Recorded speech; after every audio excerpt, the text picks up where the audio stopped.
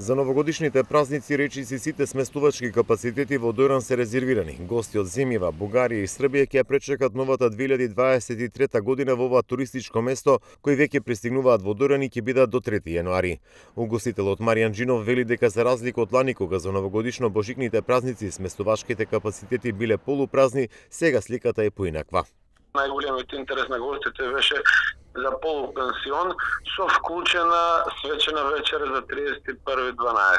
Е најчесто гостите кои ни резервира за новогодишните и божикните празници од Република Бугарија, Република Србија и да не ги забораваме домашните гости од Република Македонија. Годинава интересот на гостите е многу поголем, да кажеме, за разлика од предходната година.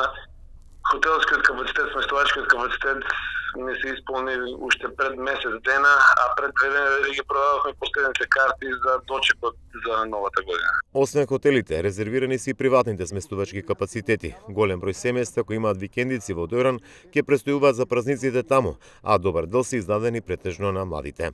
Значи дојден за новогодишната ноќ и празниците кои што се споени, односно неработниот понеделник, ќе биде препон со посетители и туристи. И угостителските објекти како што се рестораните веќе подолго време се резервирани и нема слободни места за дочекот на, на новата година, така да мислам дека вклучувајќи почнувајќи од денеска со овие настани кои што ги спремаме за најмалите, па се во наредниот период очекуваме да биде Дојран исполнен. Како што информираат сместувачките капацитети во Дојран се резервирани и за божигните празници, што е добра увертира за поголем број на гости и преку зимскиот период во ова туристичко место.